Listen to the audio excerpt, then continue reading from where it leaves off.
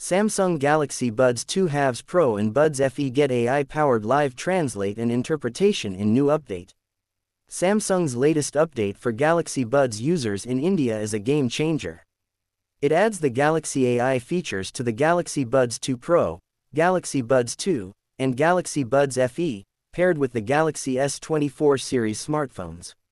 The highlight feature of this update is Live Translate, allowing real-time call translations of local Indian languages displayed on the Galaxy S24 series screen while using Galaxy Buds.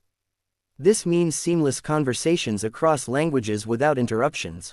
The new AI-driven interpreter function takes it further, enabling smooth two-way, face-to-face translations directly through the Galaxy Buds interface. That being said, Samsung states that certain languages may require a language pack download. With this update, users can simply speak into the Buds mic, and translated voices become instantly accessible via the Galaxy S24 series smartphones.